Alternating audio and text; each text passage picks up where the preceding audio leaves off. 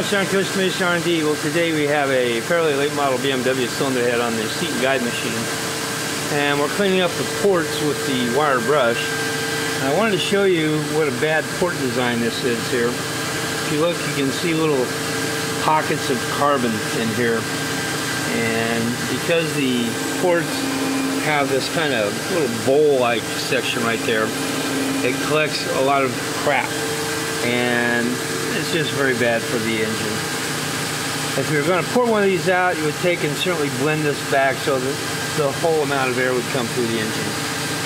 Anyway, just a real quick thing on porting. John Cush, R&D. We'll see you soon.